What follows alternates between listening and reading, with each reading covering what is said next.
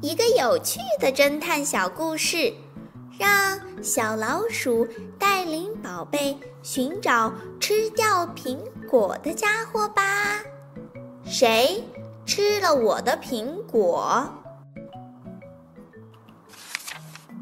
文韩李在明，图韩金贤，翻译张琪慧。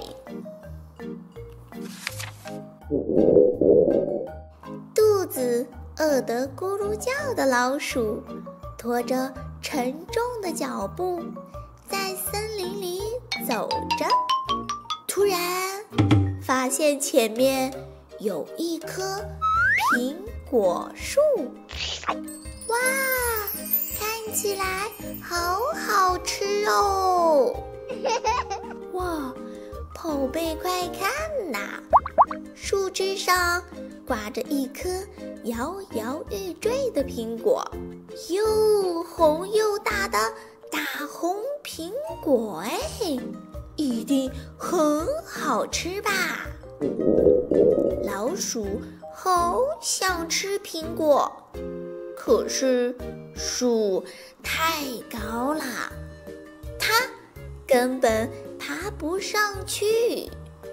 宝贝，开动脑瓜想一想，小老鼠要怎样摘下苹果呢？咚！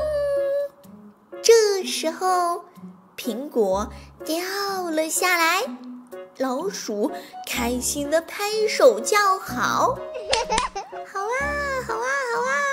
小老鼠好开心呀，它真。了眼睛，看着苹果朝自己迎面滚过来。哦，宝贝，你想尝一口大红苹果吗？可是苹果却继续向前滚，咚的一声，掉进了洞里。果刚从树上掉下来，就掉进洞里啦！这下可坏啦！老鼠赶紧跑过去，这个洞看起来很深。小老鼠望着洞里的苹果，说：“这可怎么办啊？”宝贝，帮小老鼠想一想。这个苹果要怎么拿出来呢？嗯，小老鼠在干嘛？老鼠想了想，决定在最靠近苹果掉落的地方挖个洞。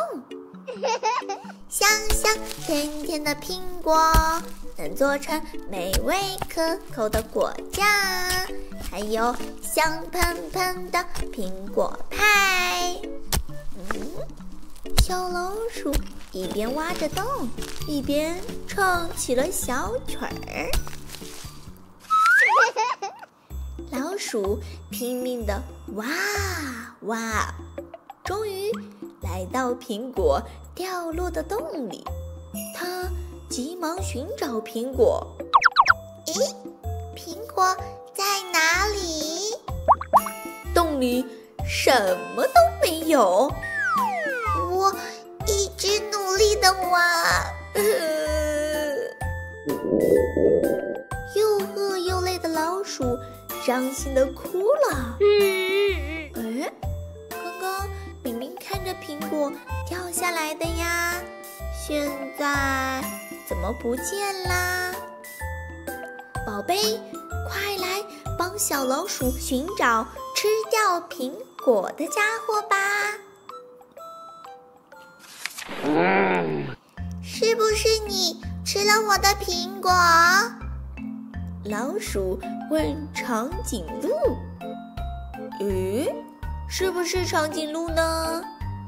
长颈鹿正低下头喝着水呢，不是我，你好好想一想。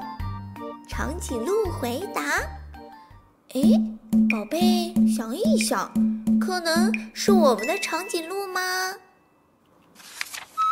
我的脖子虽然很长，可是要把头伸进那么深的洞里，我的腿必须张得很大很大，脖子才能低下来。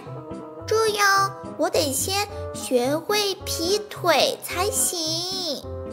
啊，不是我们的长颈鹿哦，会是谁呢？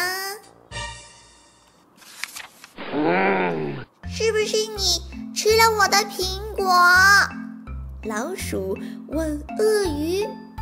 呃，不是我，你好好想一想。鳄鱼回答。哎，宝贝，你觉得有没有可能是鳄鱼呢？我的嘴巴又大又宽，没办法伸进那么窄的洞里。就算塞得进去，也不能张开嘴巴咬苹果呀。哎，也不是鳄鱼哦，那是谁呢？是不是你吃了我的苹果？老鼠问蛇：“不是我，你好好想一想。”蛇爬到老鼠面前回答：“嗯，宝贝，想一想，会不会是蛇呢？”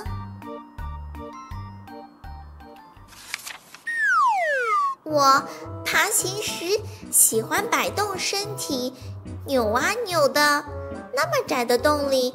挪动身体很困难，如果我吞下苹果，就会变得胖嘟嘟的，根本爬不出来。哦，也不是蛇哦，那是谁呢？是不是你吃了我的苹果？老鼠问长臂猿。嗯，会是长臂猿吗？不是我，你好好想一想。长臂猿吊在树藤上，摇晃着回答：“嗯，宝贝，想一想，会是长臂猿吗？”我的胳膊虽然很长，却够不到苹果掉落的地方。如果我的胳膊长了能拿出苹果，我就得拖着胳膊走路啦。哦，看来也不是我们的长臂猿哦，它没有那么长的胳膊呢。那会是谁呢？是不是你吃了我的苹果？老鼠问丹顶鹤。不是我，你好好想一想。丹顶鹤优雅的边走边说：“哎，宝贝，想一想，会不会是丹顶鹤呢？”我的长嘴巴的确能伸进洞里，可是我一点儿也不想把嘴。插进泥土里去吃脏兮兮的苹果。哦，优雅的丹顶鹤可不会吃脏兮兮的苹果哦。不是丹顶鹤，会是谁呢？底是谁吃了我的苹果？老鼠好想知道答案。这时候，有一只小虫慢慢的爬过来。小虫，你身上怎么有苹果的香味？我是住在苹果里的苹果虫啊。那你为什么在这儿呢？苹果突然“咚”的一声掉啦。哎，宝贝。开动脑瓜想一想，是谁吃掉了苹果呢？然后呢？发生了什么事？老鼠问虫子。苹果滚来滚去，最后停在一个有白色长脚的大嘴怪物面前。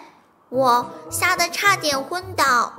这个大嘴怪物往泥坑大步走去，粗壮的腿就像会动的柱子。会是谁吃掉了苹果呢？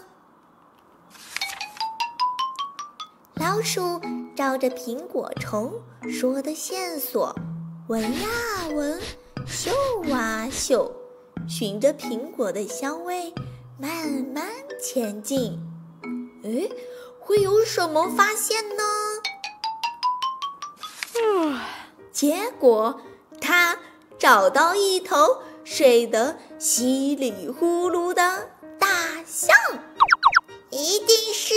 大象吃了我的苹果。老鼠爬到大象身上，抬起像扇子一样的大耳朵，生气的大吼：“是不是你吃了我的苹果？”哦，吓得我们大象咚啊，在耳朵边尖叫。